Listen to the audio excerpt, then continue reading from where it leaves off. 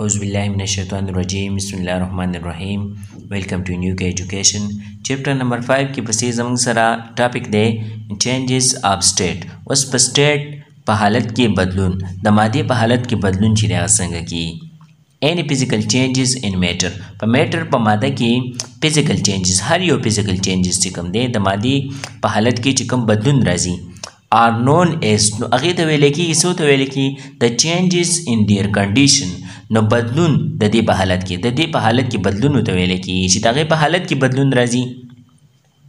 all these changes are reversible changes او دا ټول چینجز چې کوم دي دا بدلون کوم چې په دې میټر کې راځي نو دا ریورسیبل چینجز دي یعنی واپس کیدو ولا بدلون دا واپس کیږي یعنی کوم د اوبو نه واوره جوړه شو نو د واورې نه واپس اوبه به جوړیږي مینینګ نو مطلب دا دی دې کین وی براډ بیک ټو دیر اوریجنل کنډیشن نو دا خپل اوریجنل اصلي حالت ته واپس راوستې کېدی شي دا واپس سرې ته راوستې شي دیز چینجز آر براډ بای ډیفرنٹ پروسس او دا بدلون چې کوم دی دا بیا په مختلفو حالتونو باندې کیږي شون ان فیګر لاندې په دې تصویر کې ښودل دي نمبر 1 زموږ سره دی فریزینګ فریزینګ چې دا منجمد هونه کلکېدو ته ویل کی یعنی کلکېدل لکه اوبه چې کوم دی هغه سړی فریج کې کی هغه نه واوره جوړه شي نو هغه نه واور یو کلک بلاک جوړ شي دا فریزینګ دی میلټینګ ویل کېدو نو دغه واوره چې دا دا چې کله ګرمېږي نو دا به ویل کېږي دویم زموږ سره دی ایواپوریشن دویم پروسس دی ایواپوریشن بخاراتو ته بدلیدو یعنی دا اوبه چې کوم دي کله چې د نور رڼا په دې باندې ولګي په سمندرونو دریابونو یا په اوبو باندې نو دا بخاراتو کې بدلیږي د بړاس په شکل کې برا انوایرمنټ ته ځي اینډ کنډینسیشن او بیا کنډینسیشن عمل کې عملی تکثیب کیږي بار شری بیا دغه نه اوبو قطرې به جوړیږي واپس چې کوم دی واپس بیا ځمکې ته راځي دریم زموږ سره دی سبلیمیشن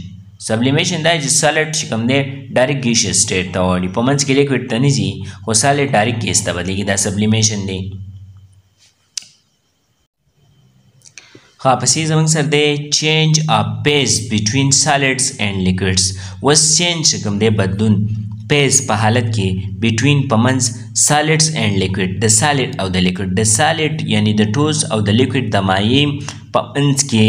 د بدلیدو حالت چې دی هغه څه دی هاو ډو یو فارم آیس ایټ هوم نو وی تاسو په کور کې آیس واورې چې دی هغه څنګه جوړوئ ریفریجریټرز آفن هیو فریزر کم کمپارټمنټس نو ریفریجریټرز چې کوم دي نو یې په هغې کې اکثر د فریزینګ د منجمد کېدو د کلکېدو خانې یې په هغې کې لکه فریج دی نو په هغې کې خاني یو له پاسه یو لاندې یو چې دی واور جوړی بل یو څیز چې کوم دی هغه یخ ساتي وینچ انکلوډ ان آیس ټرې او دغه د فریزینګ والا چې دی دا مشتمل دی په آیس ټرې باندې د واورې چې دی په هغې کې ټرې پراته وي په هغې کې لوښي پراته وي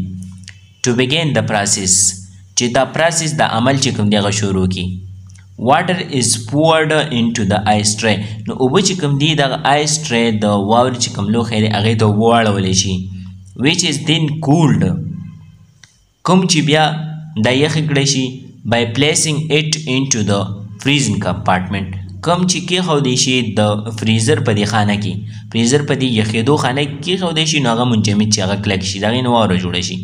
سو پس واټ هیپن نیکس نو نیکس څه کیږي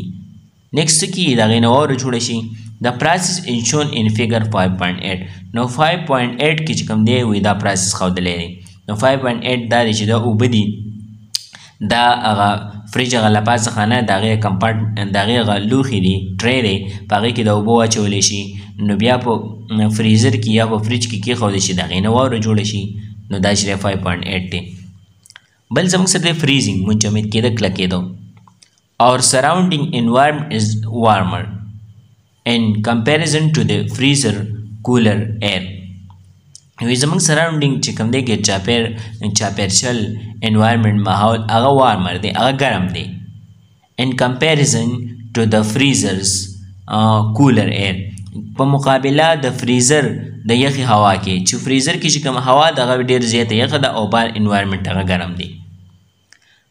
The warm water place inside the freezer نو دغه ګرمې اوبه دا موږ دننه په دې فریزر کې کېدو لاسز هیټ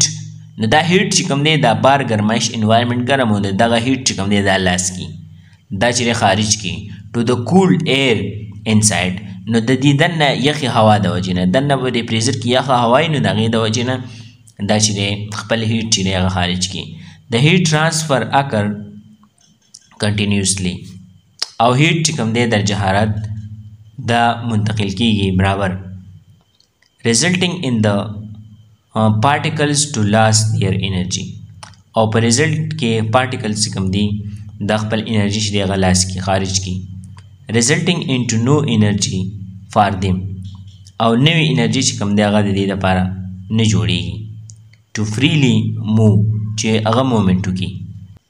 د پارټیکل آر براټ کلوزر ټو ایچ اذر نو پارټیکل چې کوم دی هغه یو بل ته ډیر نږدې شي اینډ دی آر فورسډ ټو ریمین ان دیر فکسډ پلیس او دا چې کوم دی خپل فکس خاص دی چې کوم دی هغه ته فورس کړی شي قوت لور کړی شي دکه کړی شي واټر یعنی لیکوید از دین ټرانسفرډ انټو آیس او واټر چې کوم دی یعنی لیکویډ هغه منتقل شي واوړي آیس ته یعنی سالډ ته دغه نه لیکویډ نه چې دی سالډ جوړ شي د پروسس نوز ایز فریزینګ دې د فریزینګ ویل کېږي منجمد کېدو کلکېدو دا خو اسان چیز دی چې کله موږ اوبه په فریج کې کیدو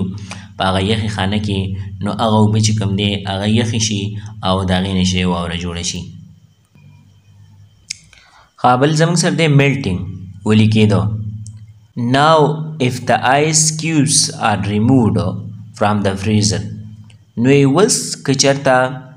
د واورې دا بلاک چې کوم دی دا د دې فریزر نه ریمو کړی شي لرې کړی شي اینډ کیپټ آوټ سایډ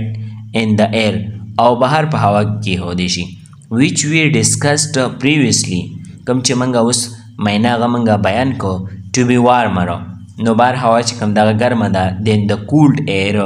انسایډ د فریزر په مقابله د فریزر ته دی یخی هوا کې چې فریزر کې دنه هوا یخه ده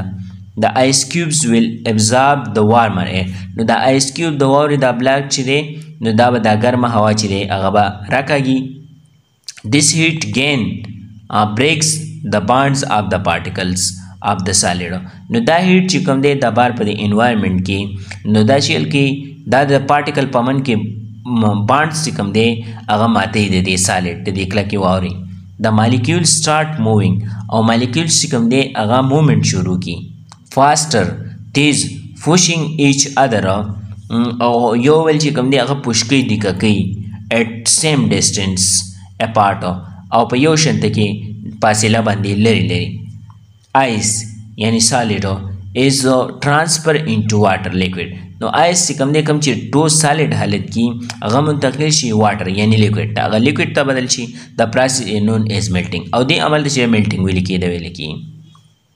An example can be seen in figure نو مثالونه شي د لاندې تصویر کې لیدای شي ا نمبر زموږ سره دا واوره د واورې هغه بلاک دی کیوب دی نو داسې یلو شي چې بار انوایرمنټ کې پراته نو هغه ویلی شي د هغې نه اوبه جوړې شي نو په دې سي نمبر کې د مکمل اوبه جوړې شوې دي ویر ایلس هیو یو سین میلټینګ نو وی تاسو میلټینګ چې کوم دی د دین علاوه څه کې لیدل دی میک ا لیست اف یور ابزرویشن نو خپل ابزرویشن لیست یې هغه جوړ کړئ نو موږ مختلف شکل کې دی لیدل دی لکه سنو شو واوره شو په غرونو چې واوره شي دی هغه ویلې کېږي نو دا د ویلې کېدو چې دی یو قسم دی ویکس موم چې کوم دی د هغې ویلې کېده مومبتي به تاسو لیدلي شوګر چیني چې کوم دی د هغې ویلې کېده نو دا مختلف قسمونه دي خاپسې د چینج اف پیز بټوین ګیسز اینډ لیکوډ اوس بدلون د حالت په منځ د ګیسز او د لیکوډ کې چې لیکوډ او ګیسز په منځ کې د بدلون حالت چې هغه څنګه دی ټي از انجوایډ ان آلموست ایوری هاوس هولډ نو ټي چې کوم دی چې نو هغه نه چې تاسو خوند اخلي هغه له توفندوس کېږي د هغې نه تقریبا په هر یو کور کې هر یو کور کې چې خلک چیس کی بټ وټ ډو وی ډو فسټ نو وی تاسو اول څه چل کوي دا چې چې دی دا چې جوړیږي وی فور کولډ واټر ان اور پارت نو منګه یخې اوبه چې کوم دي هغه منګه په دې لوښي کې واړو لوښي کې واچو کله چې موږ چې پخو اینډ دین پوټ د پارت آن د سټو ټو هیټ اټ اپ او بیا دا لوښی چې دی دا موږ په چوله باندې کیدو د ګرمایش لپاره هیټ انرژي از ابزاربډ نو هیټ انرژي چې کوم ده لاندې چې دا چولو پسې مونږ بله کړل ده نو دا د اوبه چې دا ابزارب کړي بای د واټر د واټر په ذریعه باندې دا اوبه مونږ اچولې لوښي کې نو دا اوبه دا ګرمایش چې دی ځان ته راکاږي بټ واټ هیپنس ټو د واټر واټر اپټر دیټ نو څه کیږي چې دا اوبه چې کوم دی په مخه هیټ راکاږي نو د دې نه وروسته څه کیږي نو دا بخاراتو ته بدلېږي چې کله ډېر وخت چې په سټو باندې پرته وي نو دا چې ډېرې ګرمې شي نو بیا د هغې نه بړاس خېژي دغه بړاس چې کوم دی نو دا بخاراتو طرف ته بدلېږي